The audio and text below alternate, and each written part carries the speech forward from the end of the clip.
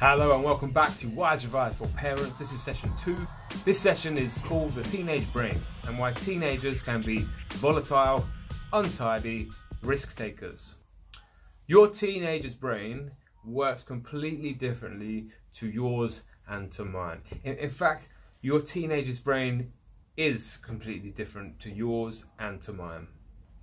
In fact, just like a microwave and an oven work in very different ways, just so an adult brain is so different to a teenage brain because although they, they make decisions and they analyze information, etc., they work in completely different ways. When I was younger, I just assumed that teenagers were different to adults because of context. I assumed that because teenagers were going through the high pressure social situation of secondary school um, and had some responsibility but not complete responsibility like adults, um, that's why they behave differently. Um, because adults have been exposed to more experiences and were at a different stage in their life, that's why they reacted to situations differently to teenagers. But in fact, their brains are completely differently wired some teenagers to be volatile, untidy risk takers. Teenagers can be incredible risk takers. This picture represents the adult brain and this picture represents the teenage brain. You see, in the adult brain, to do most of our thinking, most of our decision making, we use the prefrontal cortex. Now, this is the part of the brain that responds to situation with good judgment and awareness of long term consequences. Now, in the teenage brain, a lot of the decision making occurs in the amygdala. This is the emotional part of the brain. And so teenagers are routinely making decisions with the emotional part of their brain. And you can think about how that might pan out. Parts of the brain are connected to each other with synapses. Now, some of the last synapses to connect are between the prefrontal and the frontal cortices of the brain. And this is where insight, empathy, and risk taking are controlled. What this means is that some very, very smart teenagers can do some very stupid things in a very impulsive way. That is to say, they're going to take risks and they're going to make bad decisions. You see, when we adults are presented with new information, we should be able to rationally think it through and, and contextualize it and understand it and respond with the correct emotional response. Whereas teenagers find this a lot harder to do. To give you a very crude example about the difference between a teenage brain and an adult brain, could be like this. Hmm, I am hungry. Here are some biscuits. I have lunch in half an hour, and these are not very healthy. I'm not going to eat the biscuits. In a teenage brain, I am hungry. I like biscuits. I'm going to eat these biscuits. Now, this difference becomes even more apparent when we think about things like revision. Now, all of us would go through the mind process of thinking, I'm not enjoying this, therefore, I'm not going to do it. But for a teenager who's trying to revise for something that's in the distance, a long way, can be really difficult for them to evaluate that as a good choice of action, especially when they've got things like Instagram, Snapchat, gaming if they're if they're a gamer as well. So many better, in their opinion, uh, options for them with quick gratification. They're going to enjoy there and then. There are going to be times during the revision and exam period where your teenagers get incredibly stressed and upset, and that's when you've got to be steady as a rock. It can be really difficult to talk to teenagers at times, really, really difficult. And if they're having a big old meltdown and having a really big complaint, the, the wise thing to do, from my understanding, is just to let them talk to you. And I would often say you should say to them, "Do you want me to respond to this, or do you want me just to listen?" Because often it's just important just to be there as a listening ear, not to offer any advice or counsel, but just to be there listening.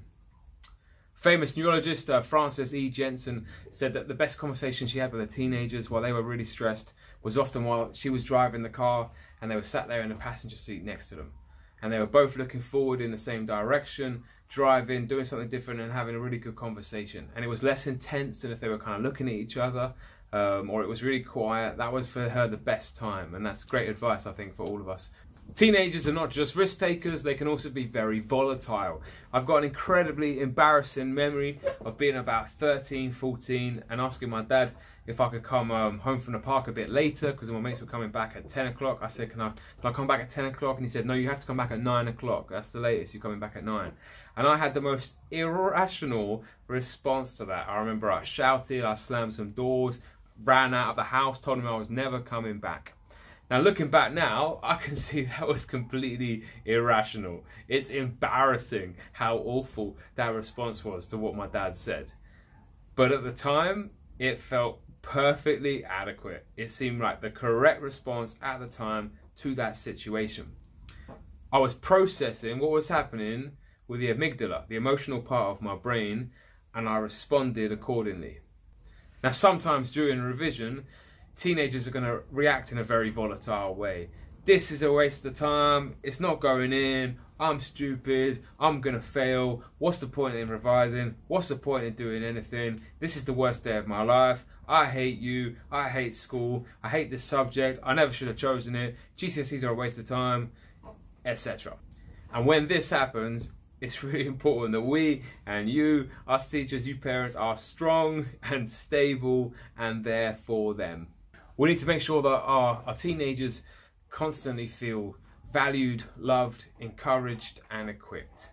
Valued. You are doing so great, you're going to do so well. If you keep putting this effort in and this hard work, it will pay off, I promise.